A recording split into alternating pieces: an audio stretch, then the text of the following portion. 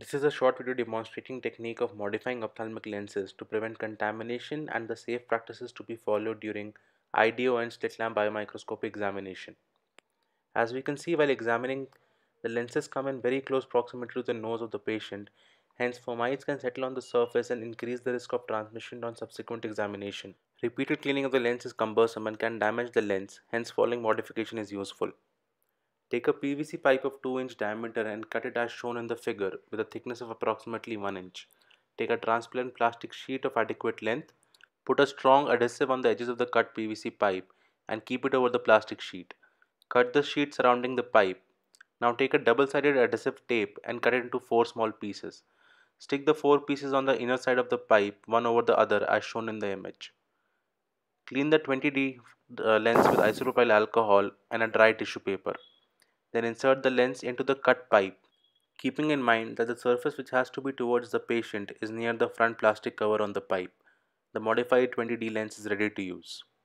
A 90D can also be modified in a similar way using a 1 inch CPVC pipe, the only point of difference being instead of putting two double-sided tapes one over the other, only a single layer of tape would suffice. Here we are showing the use of modified lens. The lens is easy to handle.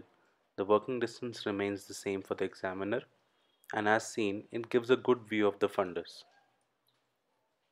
The modified lens can be easily cleaned with the help of a dry tissue paper and isopropyl alcohol.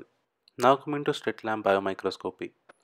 As you can see we have put a cling wrap on the lens surface facing the patient so that the front surface has a covering and the back surface is bare. The lens is kept in a box with layer of dry tissue paper underneath. The fundus details are made out quite clearly. This is a picture showing the comparison between the image quality of a 78 diopter lens without and with the front cover. After the examination is over, disinfect the front covered surface with isopropyl alcohol spray.